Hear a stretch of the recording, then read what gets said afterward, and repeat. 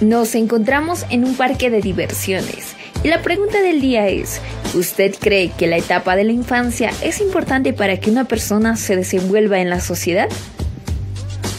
Yo creo que sí, porque siento que es como la etapa donde uno se desenvuelve en sus emociones y cómo va a reaccionar en un futuro.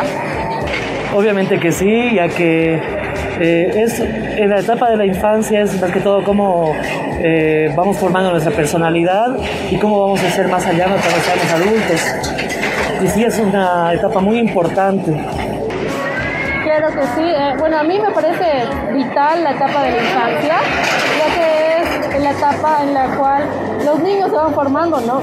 Pienso yo que nacen como personitas en blanco, ¿no? y mediante sus padres, la crianza con sus padres y su entorno, se van desarrollando y se van formando. Entonces, la etapa de la infancia es la primordial y la vital para que en el, o posteriormente puedan ser personas de bien. La verdad, creo. Porque digamos en la infancia cuando estás en una cuando pasas por algo malo es lo que te podría llegar a un futuro y digamos puedes te puede afectar. Claro, tener un buen ambiente desde pequeño te va a crear con buenos valores. Eso sería todo, sabes que si tienes mal ambiente van a ser como una persona que va a querer resolver los problemas con alcohol, drogas, etc. En cambio, si aprende bien, de, si tiene un buen ambiente pequeño, valores y todo eso, va a ser una persona buena para la sociedad, útil. ¿Sabías que la irracionalidad no es parte del trastorno? Generalmente estas personas, por estar sometidas a tantos cambios de emociones, generalmente no son conscientes de sus acciones. Por eso debes ser paciente y también ser empático con esas personas y entenderlas. Hoy estuvimos hablando con la médica general Marcela Eilon. Ella tiene especialidad en psiquiatría y nos estuvo hablando de los tipos de personalidad, tipos de trastornos que existen. Bueno, para conocer un poco más y aprender, quédate y mira esto. Bien, es un tema súper interesante porque a veces eh, nos dejamos llevar por ese término, ¿no? Que es trastorno de personalidad, cuando en realidad no todos tenemos un trastorno como tal, ¿no? O sea, hay ciertas características o rasgos o un conjunto de características que conforman nuestra personalidad, que en este caso es nuestra forma de ser, pensar, sentir y actuar, que cada uno de nosotros tiene de manera individual, ¿no? Pero ¿qué es lo que pasa cuando ya nosotros estaríamos sospechando que esta persona tiene un trastorno de personalidad? Es cuando uno de esos rasgos, de esas características que tiene está haciendo muy inflexible y me está trayendo problemas, me está generando algún tipo de conflicto, ya sea con mi familia, en el trabajo, con mis relaciones interpersonales, de pareja, etcétera, ¿no? A ver, nosotros em, dividimos los trastornos de personalidad en la parte clínica psiquiátrica en tres grupos, ¿ya? Un grupo A, un grupo B y un grupo C. En el grupo A tenemos eh, personalidades que son muy excéntricas, muy extravagantes. En el grupo B son personalidades muy inmaduras, muy inestables, eh, muy impulsivas. Es donde se encuentra este, esta personalidad eh, que tú mencionas, que es el, el trastorno de personalidad antisocial. Nos confundimos mucho con el término. A veces las personas utilizan este término que soy antisocial porque no me relaciono con las demás personas y en realidad no va por ahí. El antisocial es como su nombre lo dice, va en contra de las normas sociales aceptadas, ¿no? Es una persona que eh, generalmente no cumple eh, ciertas, eh, ciertas órdenes, cierta disciplina, es una persona que carece mucho de empatía, no se pone en el lugar del otro, no mide peligros, no asume sus decisiones equivocadas, siempre justifica su accionar. A veces nos preguntamos, ¿no? ¿Por qué esta persona está acusada por eh, ser un asesino en serie, por ejemplo, ¿no? Es como en serio, o sea, ¿por qué tantas veces se repite la misma conducta? porque lamentablemente esta característica de persona, este trastorno de personalidad no se modifica. Esta persona es así, nace así y así va a quedar para siempre. Así le des terapia, así pase lo que pase, lo mediques y demás. Este trastorno de personalidad se queda para siempre. El trastorno evitativo de personalidad está dentro del grupo C de las personalidades, que son personalidades ansiosas, inseguras, temerosas, y este trastorno de personalidad se caracteriza porque, eh, como su nombre lo dice, la persona evita ciertas situaciones, ¿no? evita exponerse en público, evita em, relacionarse con un grupo social específico. La mayoría de las veces eh, prefiere hacer actividades eh, solo o sola. Eh, tiene mucho temor, mucha inseguridad, em, ligado bastante a lo que es tema autoestima. mucho temor a que los demás lo critiquen, lo juzguen o sea objeto de burla. Puede estar muy ligado a lo que es un trastorno de ansiedad, que es la fobia social, por ejemplo. ¿no? yo lo defino en una palabra que es un super yo super yo relacionado a lo que es el ego, personas muy ególatras, demasiado ególatras, creen seres superpoderosos, eh, no tienen empatía y eh, con mucha autoestima, de poder de grandeza, cree que las demás personas tienen que rendirle mucho, mucha pleitesía, que las demás personas tienen que rendirle mucho agradecimiento, porque cree realmente que es un ser muy especial, ¿no? Sí, el trastorno obsesivo compulsivo de personalidad, hoy en día llamado trastorno obsesivo de personalidad. Son personas que eh, tienen la característica de ser muy rígidos, muy inflexibles, muy perfeccionistas, muy normativos, personas que se plantean muchos objetivos, suelen ser muy exitosos, pero ¿qué es lo que les juega en contra? Es la baja tolerancia que tienen a la frustración.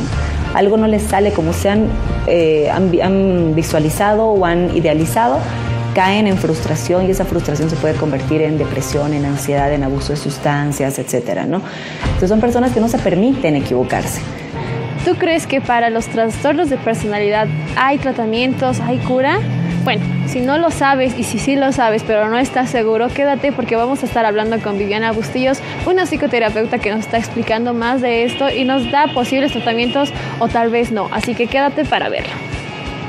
Algunos trastornos o algunas personas que llevan este trastorno pueden heredar o es genético, pero también se ha comprobado que la influencia del ambiente puede determinar, puede incrementar o puede mm, minimizar una carga genética. O sea que hay diferentes factores que generan esto. Pero evidentemente la infancia es una etapa muy importante porque es la etapa formativa básica. En la infancia se estructura la personalidad. Son las bases de lo que va a ser la personalidad de un ser humano. Es importante que todos entendamos cuál es el problema base. Si sabemos que hay una persona que tiene un trastorno, quiere decir que esta persona no es que intencionalmente busca hacer daño, pero evidentemente tampoco eso es una, un justificativo para permitirle desbordarse, hacerse daño o hacer daño a otros. Entonces las personas todas tenemos que aprender a poner límites a la conducta abusiva. Primero eso, o sea, si todas las personas aprendiéramos desde nuestra infancia a poner límites saludables, sería mucho menos probable que alguien nos dañe, porque vamos a saber cómo frenar. Pero mm, también cabe la posibilidad de que incluso la persona aún consciente de su trastorno no pueda modificar, porque no olvidemos que un trastorno de personalidad habla de una manera de ser y entonces eso no se puede cambiar de una forma, por lo menos no drástica, puede ser paulatina. Hay ciertos tipos de trastorno que son tratables dentro de la psicoterapia, pero algunos no. El antisocial, por ejemplo, no es tratable desde un punto de vista terapéutico.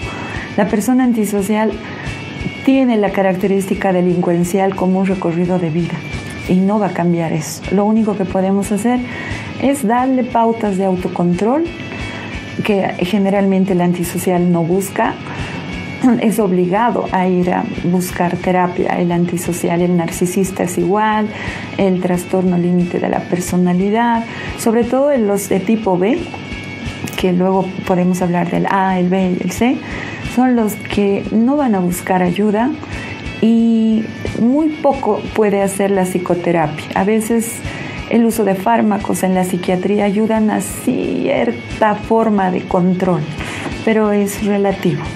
Así que mm, podemos dar generalmente pautas a la familia, eso sí se puede hacer. Podemos eh, hacerle entender a la persona que está viviendo que su personalidad es disfuncional, que no funciona con el mundo, pero más de eso no se puede, lamentablemente. Dato curioso, hay una enfermedad mental que está caracterizada por diferentes cambios y trastornos de personalidad. Y estamos hablando del trastorno de borderline, que esto generalmente es las personas que cambian de ideas así repentinamente, tal vez en algún momento tienen eh, momentos de ira, así, donde están súper enojados y lo que hacen es recurrir a lo que es el alcohol, las drogas, empiezan a tener conductas autodestructivas. Por eso esto es muy peligroso y obviamente hay que saber entender a esas personas y ayudarles de algún modo a que tengan ayuda profesional.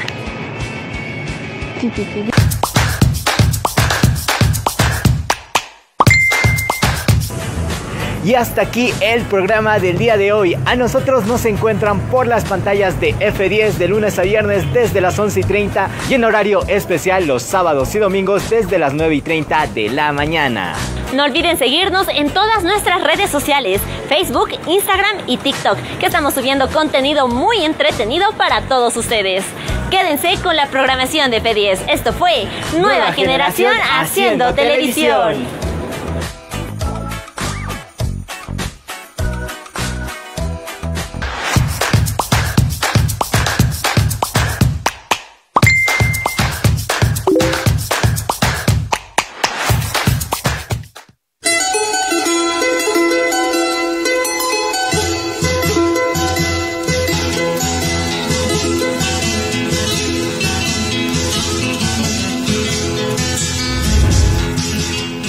Tarija es Bolivia.